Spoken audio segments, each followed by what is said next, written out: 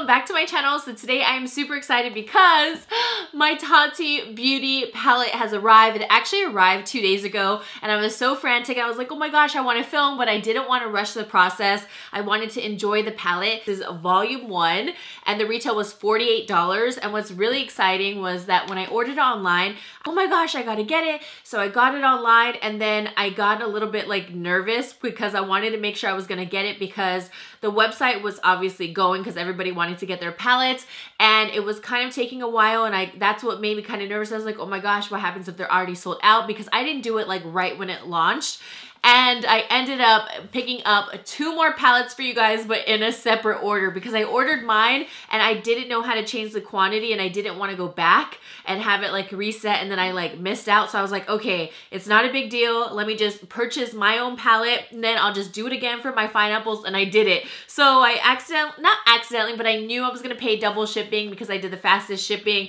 and I didn't care because I wanted to make sure I can get you guys some palettes as well. But first I needed to make sure I had mine, right? So so Tati released her palette and it is absolutely stunning. I'm sure there's like a million reviews on this already, but the palette looks so amazing. Her whole setup is really cool because probably from reviews, which I have not seen any full reviews. I have not seen any tutorials. I wanted no inspo on nothing because I wanted my own reaction to see it. And I was like, whoa.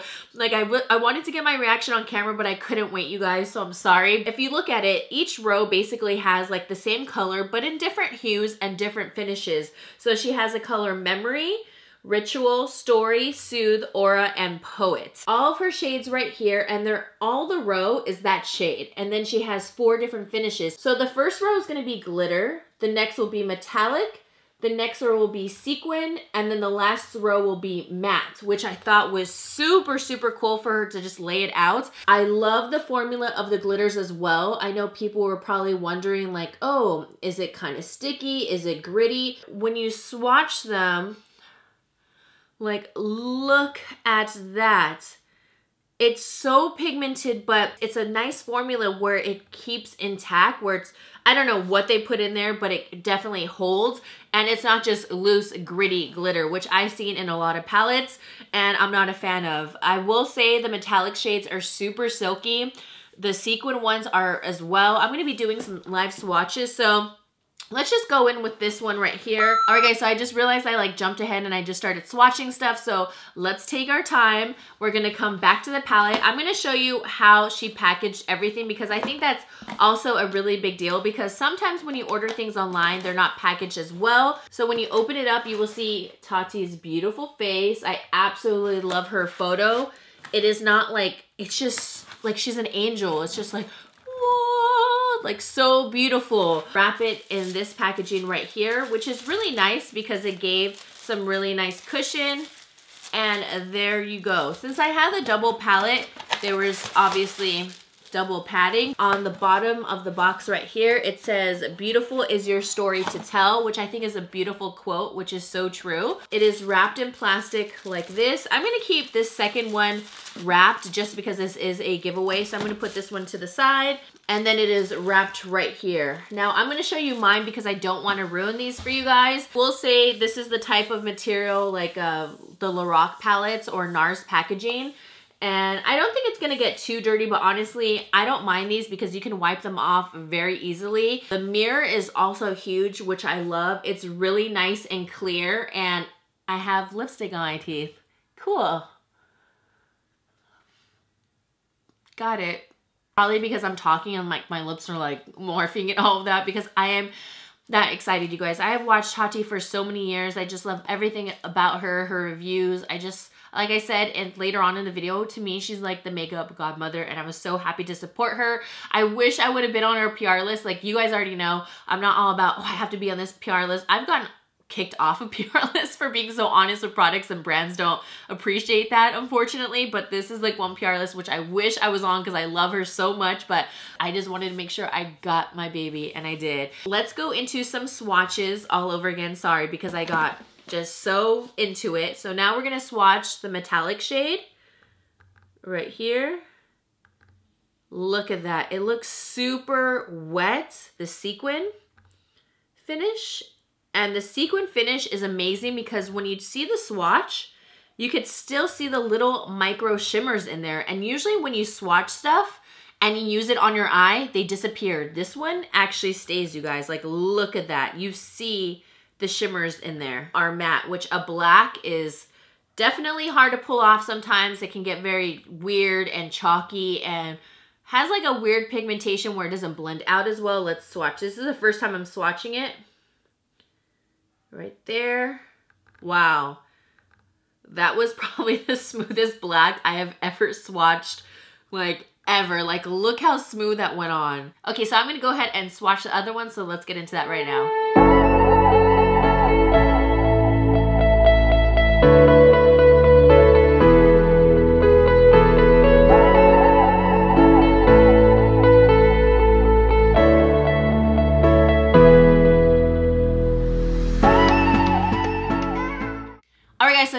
Into the tutorial. You guys will see how I did my look. I will also make sure I leave all the rules and everything for the giveaway as well, so good luck. Okay guys, so let's get started. So I went ahead and already prepped my eyes. I don't know what kind of look I'm gonna do, but I'm honestly so excited to just finally have this in my hands. Oh my gosh. I think I want to go for something sultry and smoky. Whatever I do, I plan on doing more videos with this palette. Right now, I'm just like dipping into it just to see how it's really to work. So it's not really for the creative aspect right now. I'm to go into Soothe right here and we're to blend that right into my crease. Ooh, I'm already like obsessed. I'm like, yes, I love it. This is blending out super fast. And then all the brushes I am using are Sigma you guys know I'm Ride or Die with Sigma. I was actually a customer of them before I even started my YouTube and I got the whole big set. And I do have a coupon code. The code is WHOOP. That is good site-wide and you can use it whenever you want. Okay, this is already the most beautiful crease shade. I love browns like this that just blow out so easily. Let's add a little bit more smoke. And I'm not really gonna work with the lid yet just because I wanna work with some of the glitters later on. Ritual. We're gonna start deepening this outer portion, okay, that came very, very pigmented pretty quick, but look how fast that blended out.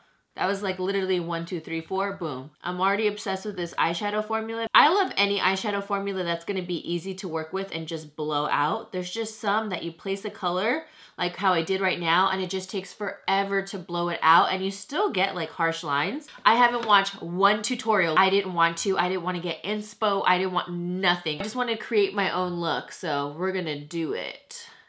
Do it, do it, mm. do it. The brush I am using is a tapered blending, and then the one that I used for my crease was the E40, my legit holy grail brush to diffuse out the crease. I just want like a nice chocolate brown, and this is definitely it because sometimes they're just so warm or they're too cool and they look like ashy. Now I'm gonna go back into Soothe just because I wanna blow out that crease a little bit more. I knew she was gonna do a good job because I mean, dude, it's Tati. She's literally like a beauty robot. I knew she was gonna come out with like a great formula.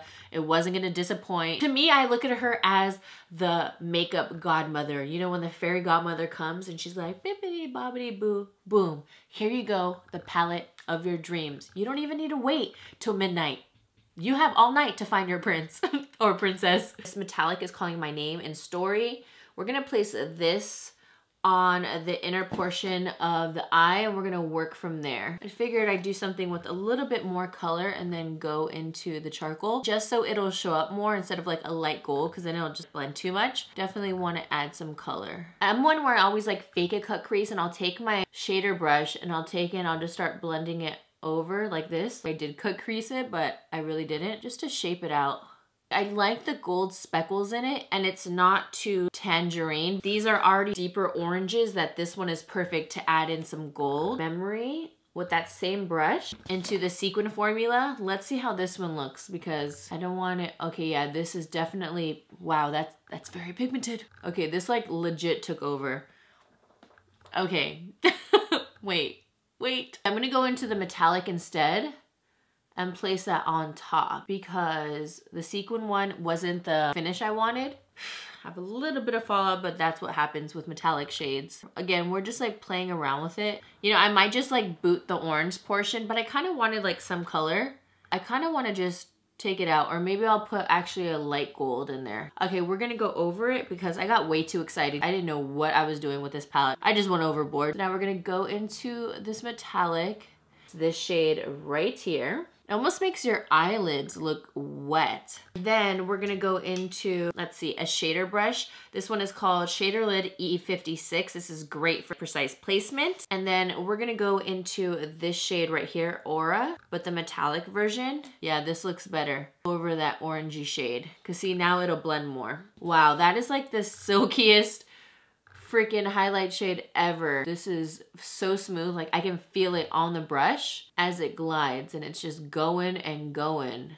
Yeah, I'm pretty sure a lot of you can agree that you like this one much better than the orange shade. We're just playing around. We're just playing around. I'm to go back into memory, into the metallic shade and start bringing that shade again. That looks way more balanced. I didn't like the orange in the inner corner. Okay, so now I'm to go back into this one and we're gonna start smoking out the outer portion a little bit more.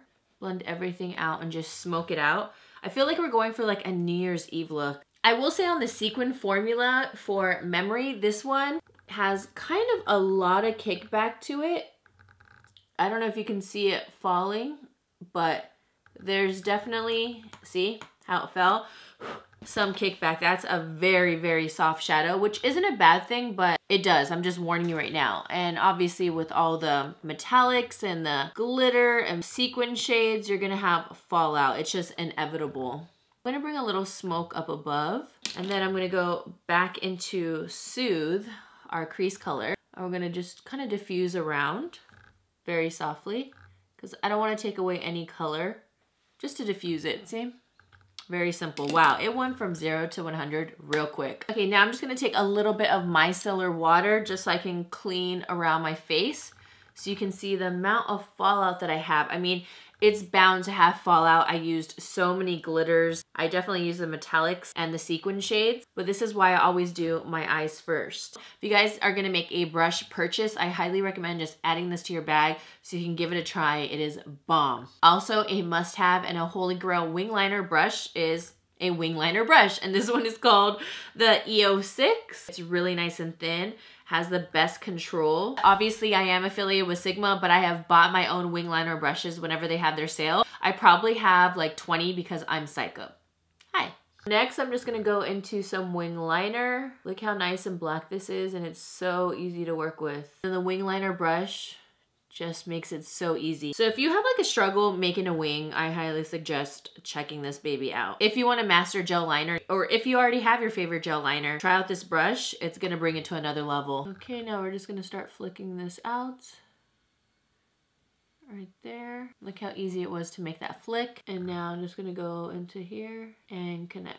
There you go. So I went ahead and just cleaned up my wing liner with some concealer and then I added in one of my favorite lashes which is from Koko and it's in the style goddess, I believe. Here we go. This is what it's looking like. Really nice, super, super glam. Obviously, I have to do the rest of my face so it balances out, but I can't wait because I'm going to bring like this highlighted portion right here and I want to add some of the glitter on the inner corner and see how it's going to look. Hopefully, I don't get it in my eye. I'm to do the rest of my face and we'll be right back because I want to concentrate all on the palette. I feel like I'm looking a little raccoonish just because I don't have the bottom done. We are going to go into Memory right here in Sequin. We're going to start bringing that to the bottom and start smudging that with the smudger brush. I usually don't like doing too much to my bottom lower lash line just because it makes my eyes much smaller.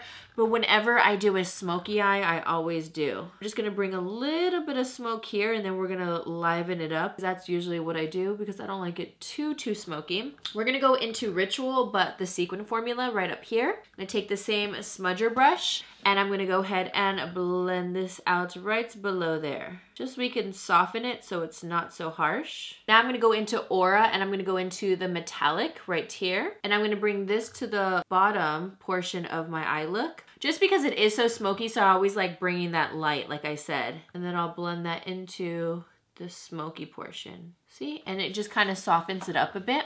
It's not so like, whoo, raccoon. Next, I'm just gonna add some mascara. This is the Lights Camera Splashes mascara. I'm really liking the look so far. Now, I'm gonna go into the glitter. I don't know how this is really gonna work. I think I'm gonna go into Aura's glitter just because it is just so stunning. I have a shader inner corner E46. It is very, very small, so it is perfect for precise application. We're just gonna go into it. Definitely has like that ColourPop vibe and we're just gonna slowly pat some of this glitter in here so it doesn't get into my eye. I'm just gonna pat, pat, pat right there. Oh my gosh, I'm already obsessed. Then we're just gonna take a little on the inner corner on this portion. Oh my gosh, this looks so pretty. I hope you guys can really see. And we're just gonna slowly blend it slightly because I don't want it just right in this portion. I want it to blend out. Wow, that looks so pretty. And no fallout so far. It's like really sticking to the brush, which is great. And you barely need any, you guys. Like I softly dipped into the palette. Next, I'm just setting my face with my Maybelline Superstay. I'm gonna contour with my Maybelline City Bronzer. Next, I'm just gonna use a cream blush from ColourPop called Over Dramatic. I love this just because because sometimes that's exactly what I am. You guys, the look is finally coming together. I always get so nervous when I do, not nervous, but more like, is this ugly or is this shit gonna work? Once you put on lashes and you do your face and concealer, it's like, all right, I'm looking human. And then to highlight my face, I've been trying to use like my old MAC highlighters. I feel like I've been neglecting them so much. This one is in Fairly Precious. This was like one of my favorite ones. So it's kind of like peachy, frosty-esque. and we're just gonna bring that. It makes your cheek just look really nice and wet. Do you guys have like a bunch of highlighters that you feel like you're ignoring? Because I definitely love highlight, but I feel like there's no way I can just neglect my old ones because you start using like the same ones and then it's like what happened to your old ones that you loved. Just gonna bring it down my nose just a little. I like this one because it's very easy to work with. It's not like too intense. Like I love the Ofra ones, but the other day I put it on, I mixed two shades together and I saw myself, I was like, whoa, light bulb at the end of my nose. But they're beautiful though. Just add a little to the chin. I've been into this like this whole year. And then for my lip, I'm gonna use, I'm trying to use a lot of stuff that I don't really pick up a lot. This is 110 Raw Sugar. It's a really beautiful shade. I just feel like their lipsticks almost look like testers kind of, right? It looks like I stole this, but this is the lipstick. And then it's slanted on each side. And then I just go up like this. It's a beautiful shade super super moisturizing as well. I'm obsessed with this eye look. I thought the palette worked out really well. The only thing i will say that i noticed some fallout on certain shades but it's just because they're so buttery and smooth. It's nothing that's like uncommon or out of the norm but they blended out so beautifully. Like honestly when i do my smoky eyes and i will always admit when i'm not good at something like i'm not good at contouring sometimes it just looks like straight mud. But the blending of this shadow was very easy for me, which is not, usually I have more, more crappy blending. Let's just say that with smoky shades, but look at that. Alright guys, well that is going to be it for today's video. Go ahead and show your girls some love down below. Let me know, do you guys want to pick up the palette? You guys might win the palette today in today's video. Let me know what you guys think. I absolutely love Tati, so I was very happy to support her. Let me know your thoughts. I'd love to know. Don't forget to subscribe to your girl. I have my vlog channel, What Lizzy Vlog, and I'll see you beautiful people in the next one. Mwah. Here we go, it's all about you, it's all about me, it's all about what we do. Making art, you and me. Trying to find something to